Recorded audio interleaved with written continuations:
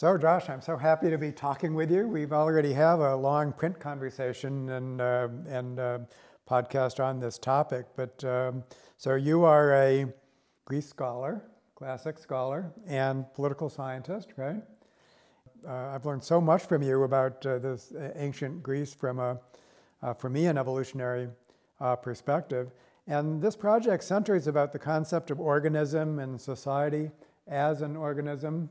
And I wanted to ask you, I think, two questions. One is the degree to which the Greek city states were kind of an organism, and also how that was understood by the people at that time. The whole metaphor of society as an organism, of course, was you know, present in people's minds, such as Aristotle and, and so on. So not only did the Greek city-states kind of qualify as an organism in ways that we'll get to, but also that that's how people were thinking of it.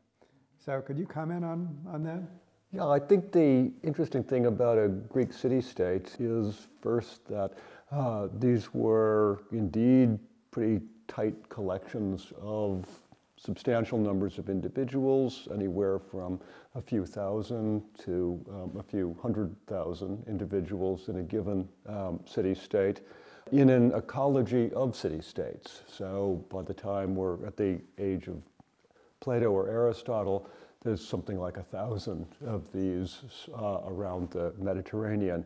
And so uh, in some ways, like the ant colonies that Deborah Gordon studies, uh, what we have is these individual groups um, which are cohesive, they act um, uh, cohesively as, in some ways, quasi-organisms in an ecology of similar, um, as it were, quasi-organisms, uh, with which they both compete um, and cooperate.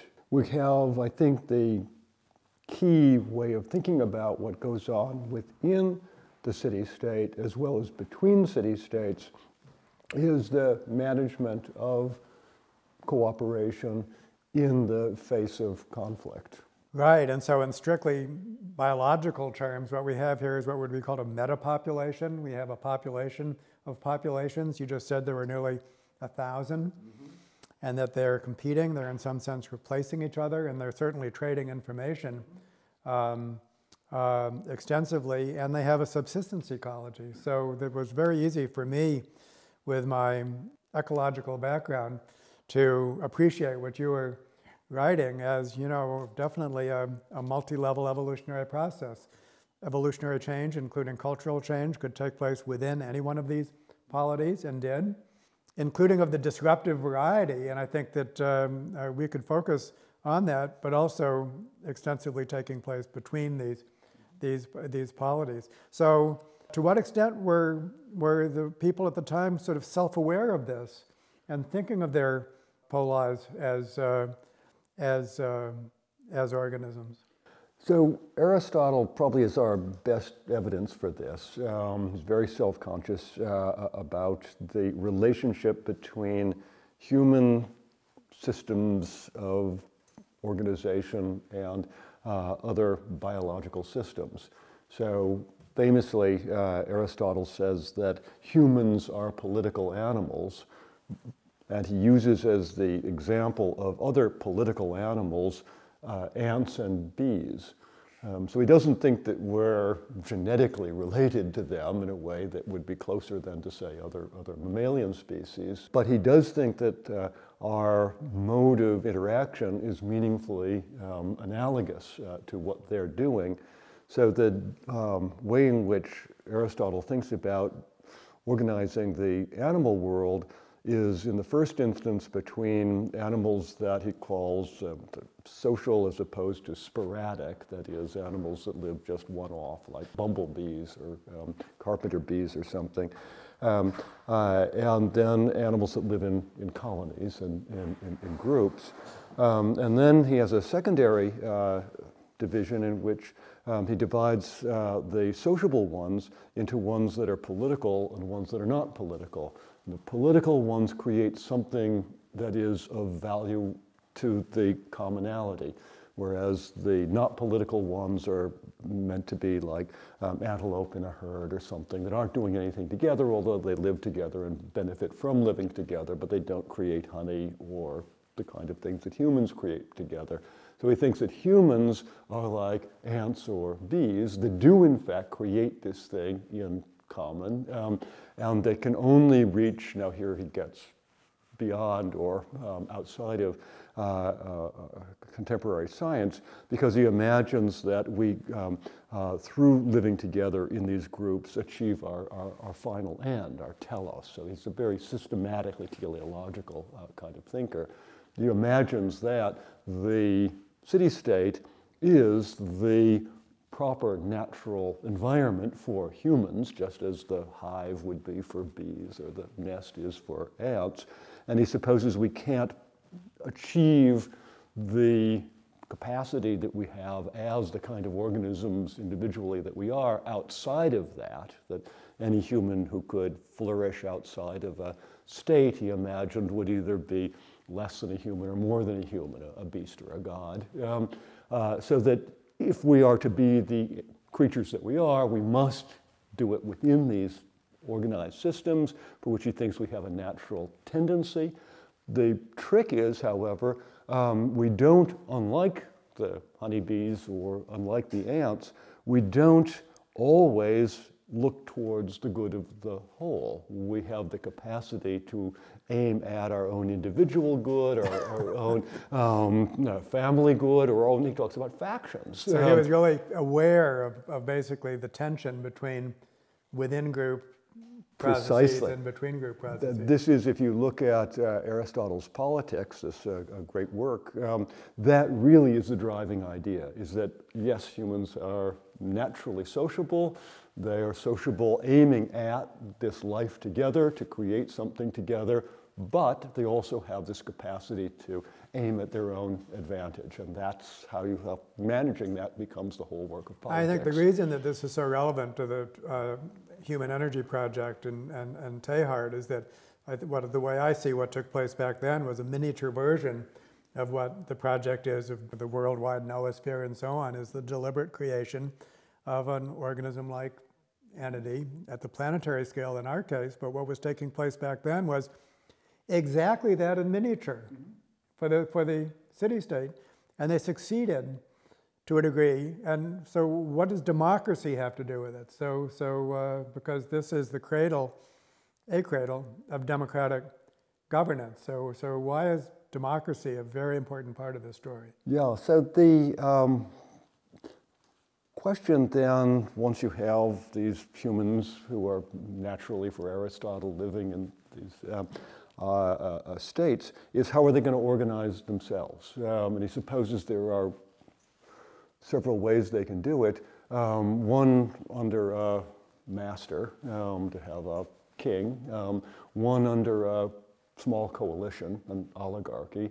Um, and the third way is that you have self-government by the residents, or at least the citizen residents of the, of the city-state, and that's um, uh, democracy. The trick here, I think, is that, um, and here Aristotle gets into difficulties, but we don't have to worry about his difficulties. Um, uh, uh, but uh, uh he actually, his lo the logic of his um, humans being by nature political animals suggests that we all have this tendency to be sociable and furthermore, to use our natural capacities of speech and reason towards these pro-social ends, and to do so at the highest level, um, the level that's closest to the divine, he would suppose. Um, so that sounds ultimately like a democracy. All of us um, aiming at something together, using speech, um, using reason, um, putting together what we know into some um, uh, pro-social uh, end. So uh, uh by that reasoning, the states that are democratic should do well because they ultimately maximally use human capacity.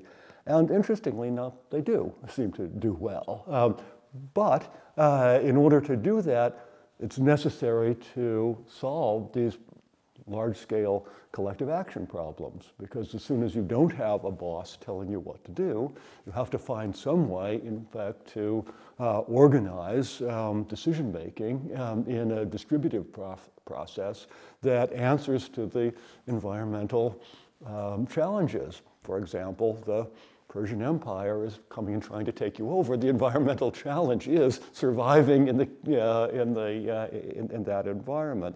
Um, so that's, the, that's, the, that, that's really the interesting uh, story, I think, about uh, democracy in the Greek world, is that it actually did turn out to be an effective form of human organization, and in fact seems to have, over time, um, been the most successful form of organization at the city state level, anyway, in that democracies tended to replace oligarchies or tyrannies over time and to become more prevalent uh, over time. Although they were less. overtaken by empire at some, at some point and declined and so on. So, was there a recognition that the smaller social unit, what they call the deme of about 150 uh, males, uh, citizen males, was in some sense a kind of a natural unit, and that for the democracy to become larger, then some kind of construction was was uh, was required. Was there a, an appreciation of that? Yeah. So we, we look at the uh,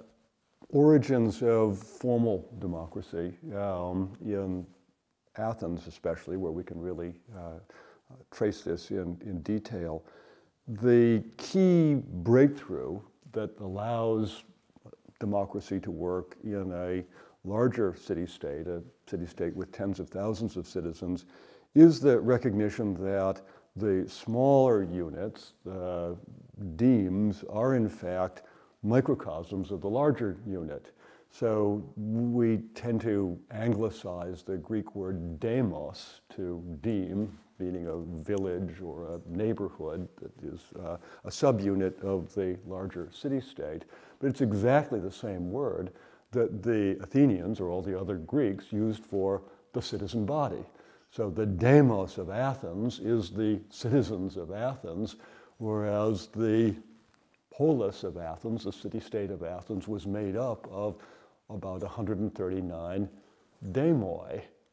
So you have the people and the peoples, um, and you're using the same word in Greek for both these units. So it's very self-conscious what's happening here, and very clearly thought of these smaller units as being, um, in some ways, uh, microcosms of the, of the. And then they invented federalism, so multiple scales, demos within tribes, and, and so on.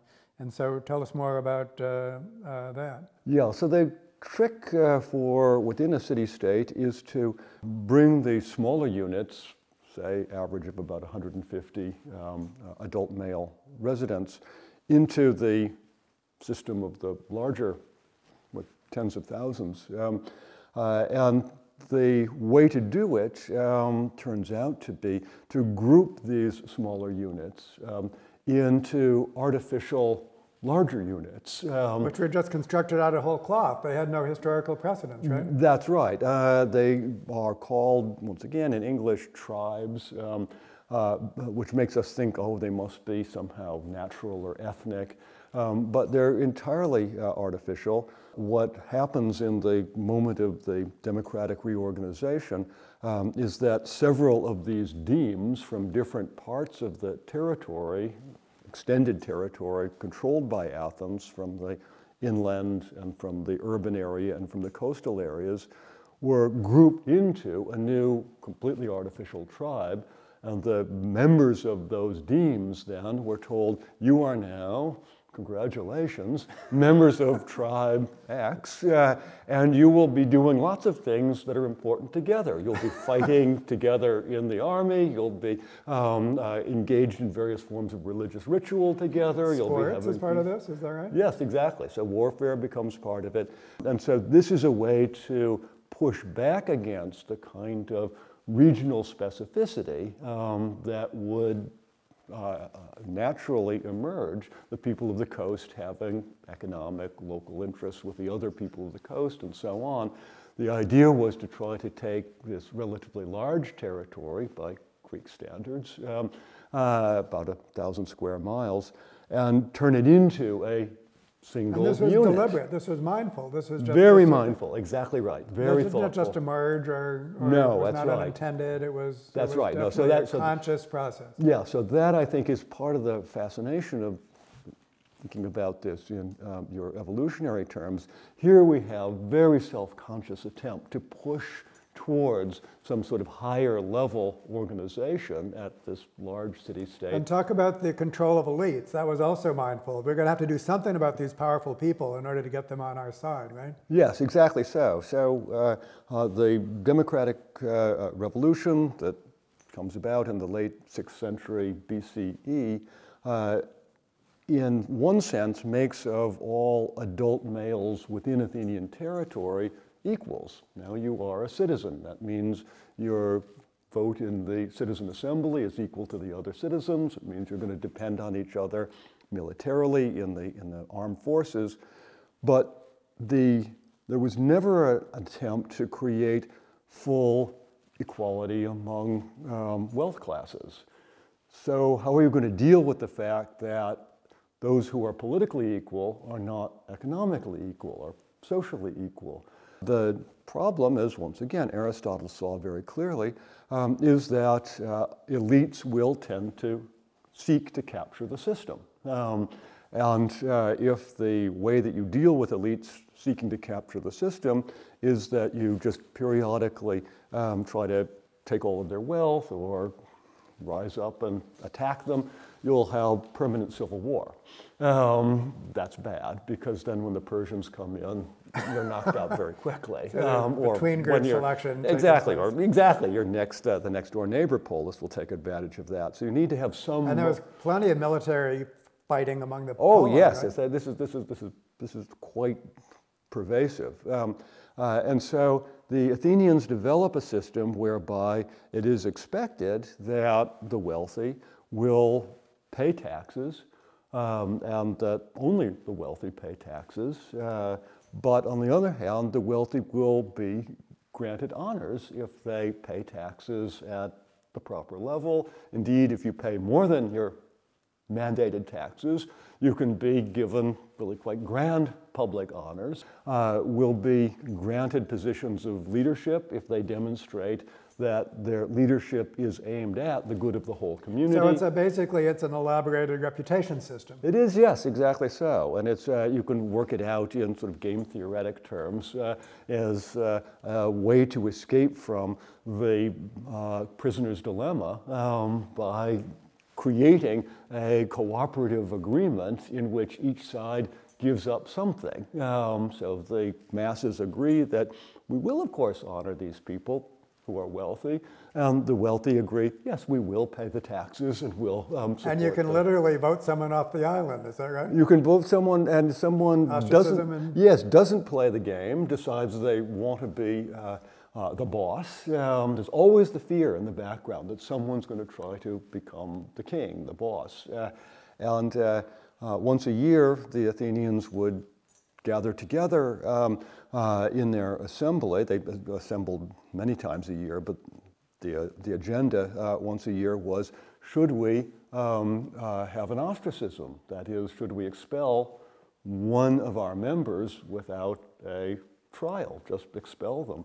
And if the vote went yes, we should, then shortly thereafter, uh, every Athenian citizen was invited to come to the public square with uh, a piece of broken pottery um, inscribed with the name of the individual that that citizen most wanted expelled. Um, uh, and this were, these were put into a great big pile, and then they were sorted out. Uh, and the winner, or perhaps we should say the loser, depending on how you think about these things, the person with the plurality, um, I think it's just a pure plurality, is um, expelled for They 10 had to years.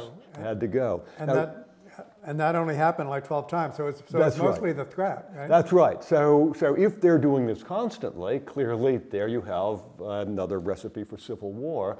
But they don't do it all the time. They limit the right to do it. They limit themselves to once a year. And uh, in the roughly 200 years in which the democratic system is um, sort of working at full force, um, yes, they only do it about a dozen times. So I just am so amazed by this. But when we think about cultural evolution, then we have basically an origination event in Athens, but then of course it has to spread. And there's a number of ways that it can spread. One is by conquest, let us say. Another is by copying. And so once you get um, a new cultural form like this, how did it spread? Uh, maybe it was a combination of both. Well, actually, it's economics, there's warfare, and there's copying. So, so talk about the spread. Yeah, I think it really is a, a mix of these. Uh, uh, the Athenians turn out to be, after their democratic revolution, extremely effective um, at warfare. Uh, this is noticed by historians at the time.